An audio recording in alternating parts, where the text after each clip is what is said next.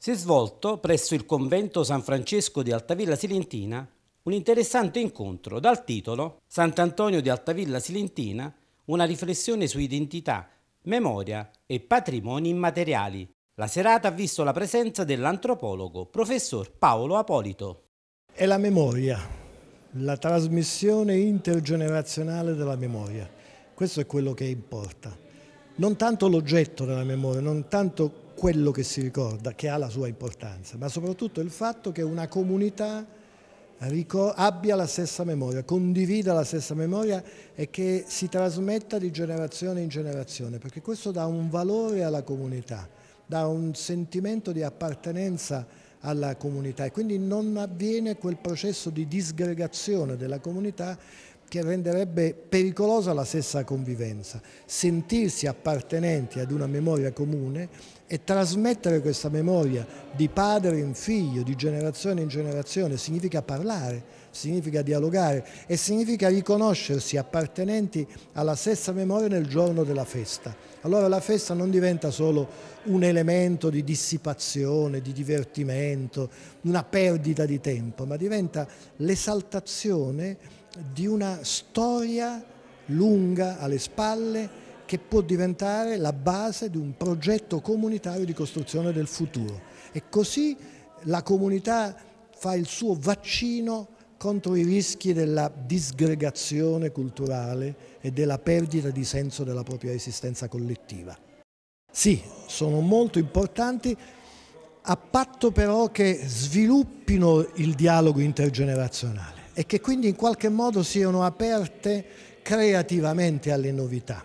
I giovani, i bambini entrano, intervengono con nuove istanze, con nuovi desideri, con nuovi sogni ed è giusto che si apra un dialogo con le vecchie generazioni e che le tradizioni eh, in qualche modo si meticcino, cioè cambino assumendo altri valori, anche perché tutte le tradizioni in realtà sono meticce Nessuna tradizione può vantare di essere nei secoli autonoma e autoctona.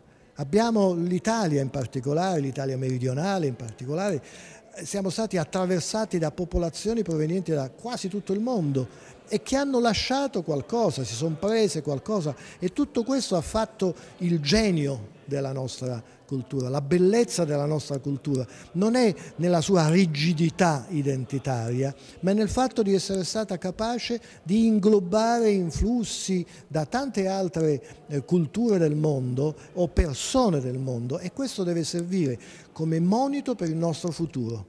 Guai a pensare di chiuderci nelle identità. Le identità chiuse, rigide, sono identità che portano alle guerre che portano al sangue, portano alla distruzione nostra e degli altri. Le identità devono essere aperte, aperte a suggestioni che certo devono essere elaborate dalla comunità, non imposte dall'esterno, elaborate creativamente dalla comunità sulla base di un dialogo intergenerazionale ed anche con i nuovi flussi di popolazione che vengono dal resto del mondo.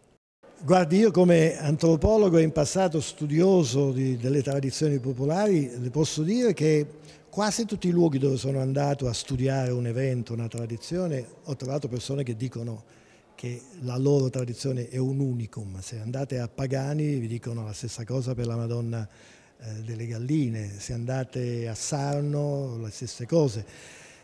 L'unicum c'è, ma non è l'unicum che noi immaginiamo come più forte, più importante di altrove, non come se qui il sentimento devozionale per il santo sia più forte di quello che provano lì o lì o lì, no, non in questo senso. Nel senso che l'unicum qui è stato il tipo di sintesi che nei secoli gli altavillesi hanno compiuto sulla base di influssi che venivano da tutto il resto, dagli altri paesi, dalle altre realtà e che però si fermavano qui e qui hanno trovato quel tipo di cristallizzazione che fa la devozione degli altavillesi. Il genio degli Altavilla non è nel fatto che la sua devozione è più alta che altrove, ma che questa è specifica di Altavilla. Questa festa, se vuoi vedere questa festa, solo qui la puoi vedere.